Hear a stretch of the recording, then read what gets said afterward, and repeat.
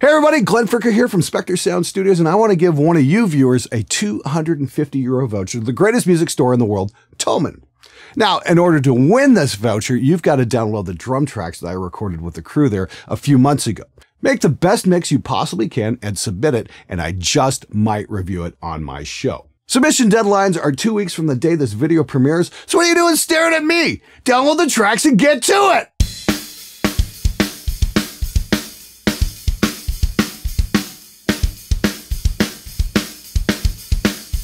Hi, I'm Martin from Thomann, and I uh, have the pleasure to welcome Mr. Glenn Fricker. How's it going, everybody? By the way, um, just it's it's really cool to be here. It's just not cool in this room because No. the the lighting tech really loves to use tungsten and doesn't understand that human beings can only work within a certain operating temperature. So our shirts are just going to get Yes. wetter and wetter and wetter as we I- go yeah. along because it's going to get awfully steamy in here.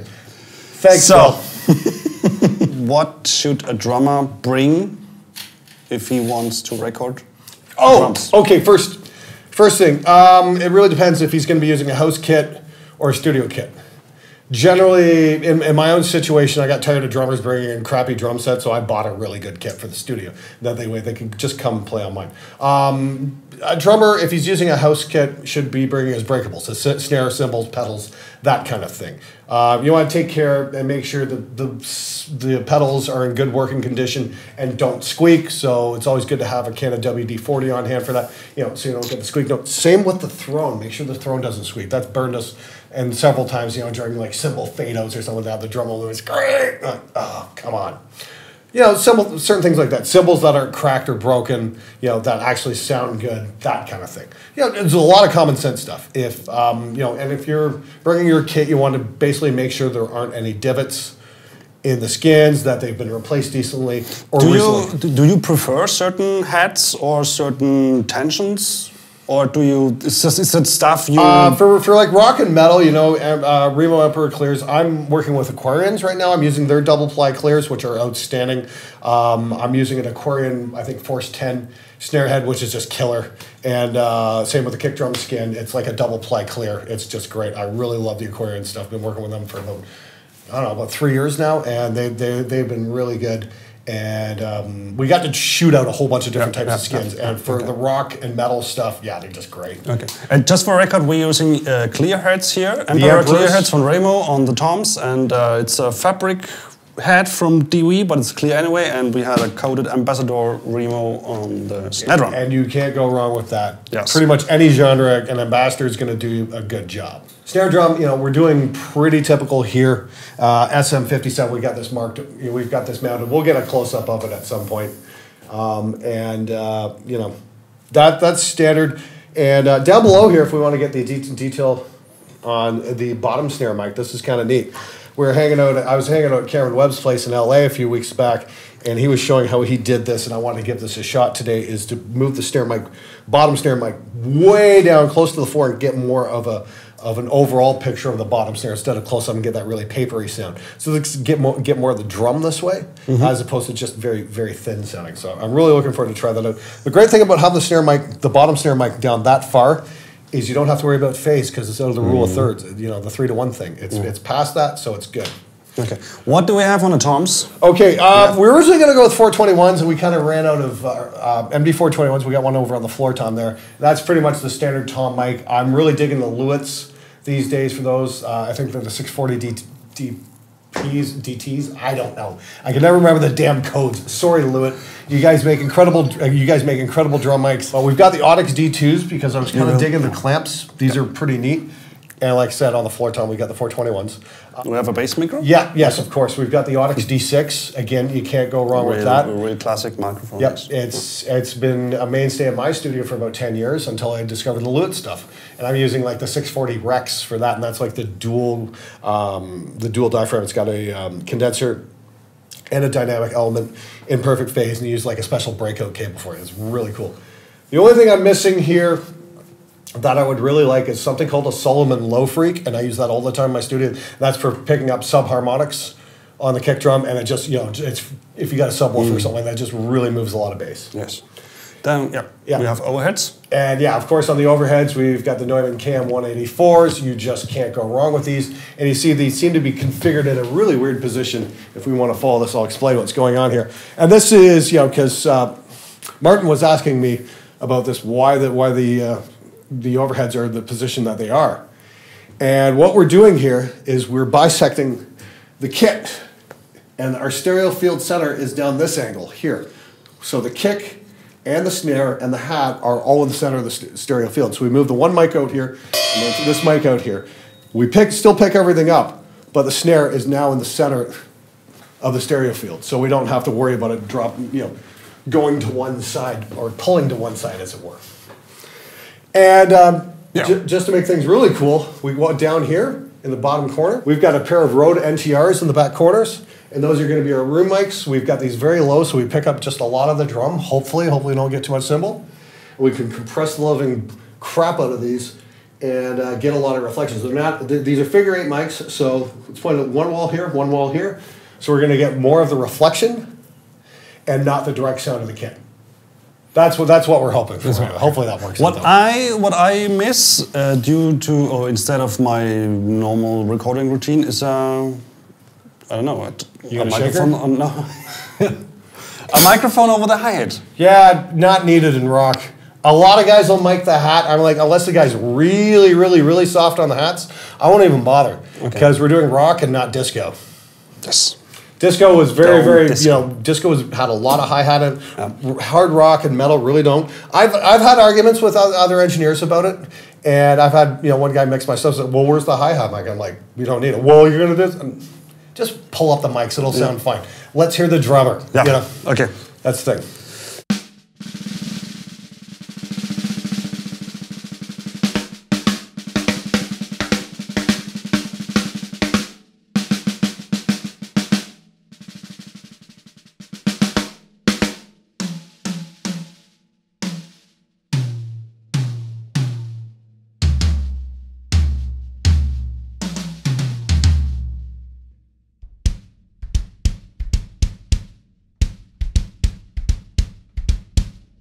So um, first and foremost, I want to say I want to talk about kind of like the importance of the room mics. Let's do let's do two beats here. Let's show what the what the close mics sound like. Play me a beat. We're just going to use the close mics on this one.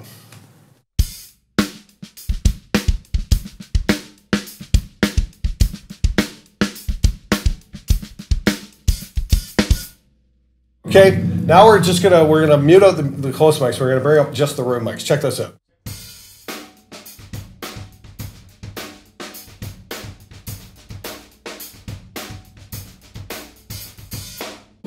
And together, we get a bigger sound.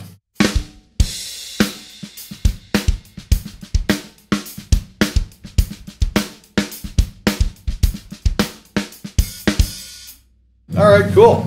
Martin here really likes his hi hat a little lower. Normally, I'll get the get the drum and bring up the hi hat a little more. You have seem to have a little bit of finesse, which a lot of metal smashers don't. Don't They'll have- just, yeah, they'll just beat the living crap out of the will, hat. uh, okay, I will beat a little bit Generally, more. this is the loudest element on the kit, and Okay. it's kind of like the enemy of the snare mic. Yeah. So Well, I'll we- try and separate yeah. those as No, physically we- as I We can. can do it right now, and um, Oh, I'm. Oh, okay. We can try that. See what happens. and I will play a little See bit. what happens if we move. Yeah, move that up. And well, let's do. Um, let's show them the difference between skin and rim shot Yes. on the snare too. This is really important. Now, I'm always screaming at drummers. You know, rim shot, rim shot, rim shot. And a lot of guys are like, "Well, I play blast beats." Well, so what? Learn how to play them louder. Here's the reason why. Let's do a beat with just the skin.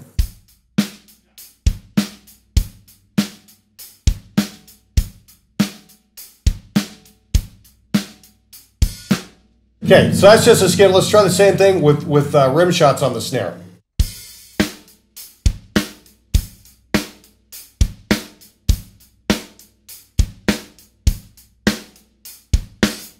And so what what happens here, and this is this is really important, is the snare is about two to three times louder. Yes. For starters, it gets a wonderful attack, but because that snare is louder, we don't need to put as much gain on that snare mic, and that turns the hi hat down Yeah. by way of comparison. So we can get away with a lot more. So it's like even though all these elements are together, this thing here is the enemy, and we want to keep that out of that mic. so we can get more of that snare. Right now, if I yeah, if we talk about the snare drum, um, Glenn did something interesting for me as a drummer as well um, in the beginning, and he uh, take one of the moon gels, which is uh, normally like this size or like this one. Yeah. You maybe all know it. And he cut it in half, and he cut it again in half, and he cut it again in half. So it turns out it were four little Four little pieces, yeah. pieces. So what is the secret behind this? Okay, when you hit a drum, it's like dropping, uh, dropping a pebble into a into a, into a, in a little pool, Yeah. and you'll get waves Yeah. come back and in and out, and that's where the, your ring is. So what happens is we put the moon gel here, it will just break that wave up a little bit. But if you put it in four spots, it's going to kill the wave. If I may, Yeah, of course. thank you, sir. And so. Yeah, we've got a nice, solid, very dry thwack. If we pull these off, we're gonna get a ring now. It just goes on and on and on and oh, on. yeah. So if we put one, we still get a lot It's the ring is- of ring. We, we put two, still goes on, but three and four, put a four right there. And that's just gonna, gone, or almost completely gone. You can EQ the, you can use a very narrow band parametric EQ to take out whatever remains. And that, that's easy to find if you got, a, got an EQ like what, the one with Reaper with the built-in frequency display. You can kind of see exactly where that is. That's the fundamental frequency. You just want to notch that out a little bit and then boost up the bottom end or whatnot. But this is a beautiful sounding drum first and foremost. It really is. And I love the I love the attack on this. Um, so yeah, like I said, what this does is just basically breaks up that wave coming back, so you get a, just a nice, and it's just very dry and it's wonderful recording. The reason you don't you use tiny bits of moon gel like this instead of four pieces of moon gel, four whole moon gels, is because when you put this stuff on, you're changing the weight of the head. So we want to we want to mess with that as little as possible, and by not loading up the head too much, we're still leaving a lot of top end, so we don't have to add more EQ.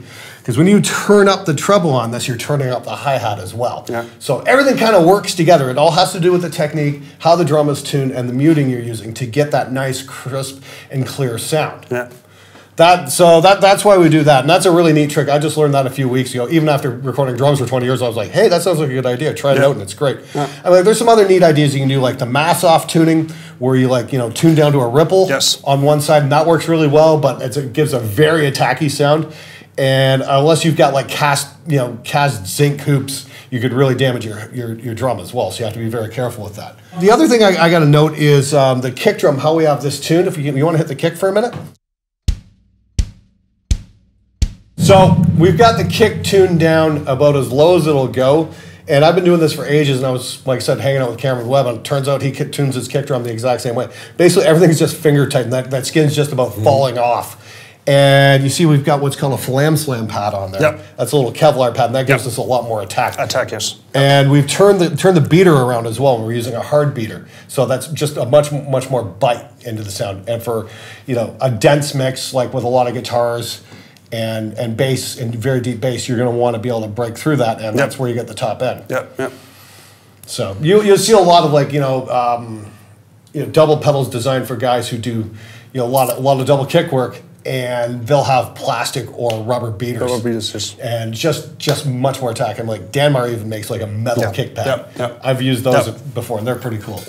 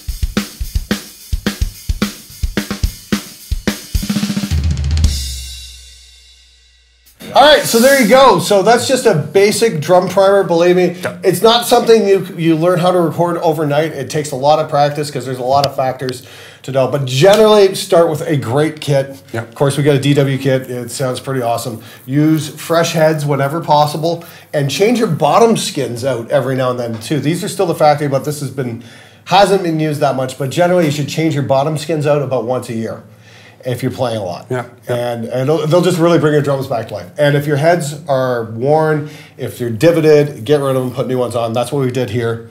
Uh, the snare, top snare head was in, we're still in really good shape, so we wound up using that. But I gotta say, I'm really impressed with these uh, these Zultan cymbals. These are available at Thomann. Yes. these, these are the Thomann brand, correct? Yes, it's an own brand of us. Uh, you will find the related links below in the comment, no, Yeah. in the article. Really impressed with the crash. Check out that ride one more time. Yeah. That thing's really cool.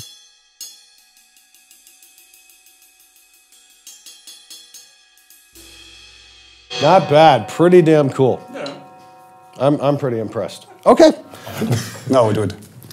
Thank you for being here. Uh, Thanks for having me. It's been it's been a great great experience. I was gonna say uh, if you guys want to take a crack at learning how to mix real drums, these guys are gonna make the tracks available for download. There'll be some links in the description below. You can check those out and try to mix them yourself. Should be pretty cool. yes, and don't forget to hit the subscribe button here down here. And if you have any questions, write us an email, leave us a comment, Thumbs up. and see you soon. Bye.